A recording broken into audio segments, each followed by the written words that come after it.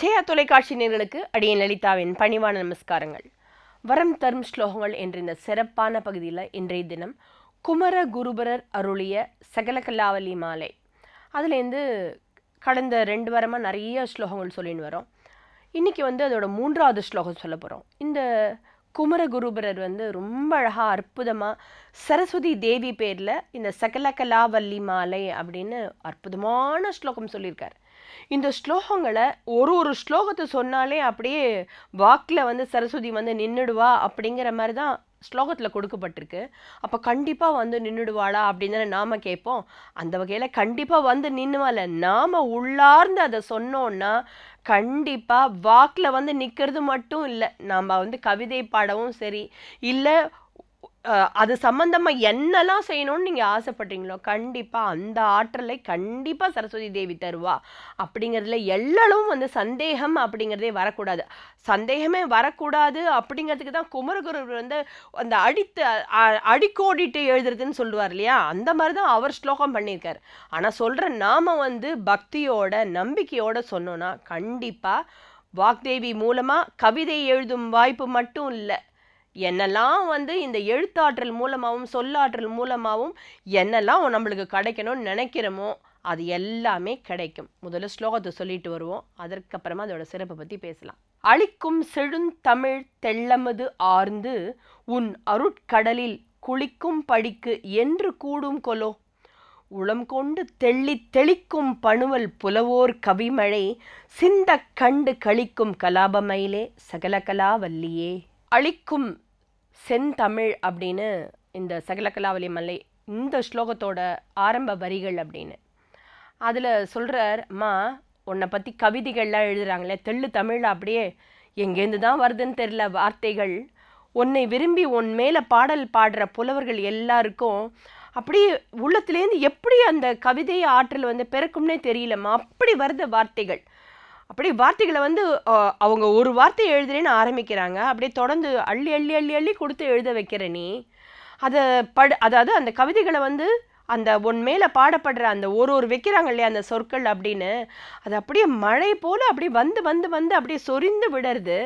அவங்க வந்து அள்ளி அள்ளி வார்த்தைகளை வச்சு வச்சு உன் மேலே அப்படி கவிதை பாடுறாங்க. அதை கேட்டு நீ எப்படி இருக்க அப்படின்னா மழை வரும்போது இந்த தோகை மயில் விரித்து ஆடும் அப்படின்னு சொல்கிறோமே அதை ரசித்து நீ உன்னோட தோகை மயிலை விரித்து ஆடி ஆடி அதை ரசிக்கிற.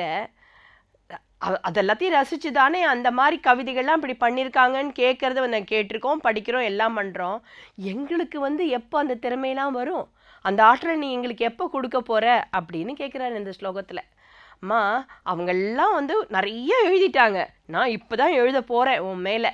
அதனால் நீ எனக்கு என்ன பண்ணணும்? அவங்கெல்லாம் எழுதும்போது எழுதி அந்த கவிதைகள்லாம் சொல்லும்போது நீ வந்து எத்தனை அழகா நீ மயில் போல தோகை விரித்து ஆடி எல்லாம் ரசிச்சிருக்க இல்லையா? அந்த மாதிரி நான் எழுதி நீ வந்து தோகை விரித்து ஆட வேண்டாமா? அந்த மாதிரி ஒரு ஆனந்த மழையும் அந்த மாதிரி மழை போன்ற கோ கவிதை எழுதுகிற பாக்கியம் எனக்கு கிடைக்கணும் இல்லையா? அதை கொடு அப்படின்னு கேட்குறாராம் சகல கலாவலி மாலையில் குமரகுருபரர். அப்படி தான் இந்த ஸ்லோகத்தில் அவர் சொல்லியிருக்கார்.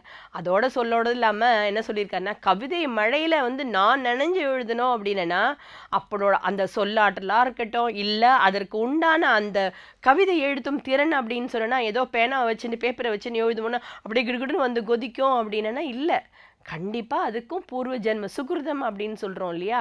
அந்த சுகிருதம் வேணும் அந்த சுகிருதமே இல்லை அப்படின்னு தான் நான் இப்போ உன்னை கேட்குறேனே வச்சுப்போமே. அதுக்கு நீ என்ன பண்ணணும்? நான் இப்போ ஒன் ஒன்றை தான் உன்னை தான் நம்ம பரிபூர்ணமாக நம்பியிருக்கேன். நீ ஏதானும் உனக்கு என் மேலே அருள் பாலிச்சாதான் ஏதானும் ஒன்று எழுதுறதுக்கு அப்படின்னு நான் கை கை விரல வச்சு பேனாவை எடுத்து எல்லாம் பண்ணினாலும் எழுத வரணும்ல? அந்த வார்த்தைகள் வந்து குவிக்கணும்ல?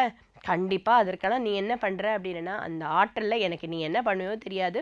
கொடுத்தாகணும். நீ கொடுத்தாதான் எனக்கும் இது- உன் மேலே கவிதையை பண்ண முடியும் அப்படிங்கிற ஒரு நம்பிக்கை வரும். அந்த கவிதை மொழியில் நான் குளிக்கணும் அப்படின்னு கேட்டிருக்காரு. அதே மாதிரி நாமும் கவிதை மொழியில் கவிதை மழையில் குளிக்க ஆசைப்பட வேண்டாமா? ஒரு ஒரு நாளும் இந்த ஒரு ஒரு ஸ்லோகத்தை சொல்லி பாராயணம் பண்ணும்போது கண்டிப்பாக கவிதையை தாண்டி எழுத்தாற்றல் அப்படிங்கிறது எந்தெந்த துறையிலெல்லாம் தேவைப்படுமோ அத்தனையும் நமக்கு வாய் வாய்க்கும். மீண்டும் ஒரு முறை இந்த ஸ்லோகத்தை சொல்லிட்டு வரலாம். அழிக்கும் செழுந்தமிழ் தெள்ளமது ஆர்ந்து உன் அருட்கடலில் குளிக்கும் படிக்கு என்று கூடும் கொலோ. உளம் கொண்டு தெள்ளி தெளிக்கும் பணுவல் புலவோர் கவிமழை சிந்த கண்டு கழிக்கும் கலாபமயிலே சகல கலாவல்லியே காயேன வாச்சா மனசேந்திரியைர்வா புத்தியாத்மனா வா பிரகிருதேஹே ஸ்வபாவாத் கரோமி யத்யத் சகலம் பரஸ்மை ஹி நாராயணாயேதி சமர்ப்பயாமி. சர்வம் லலிதார்ப்பணம்.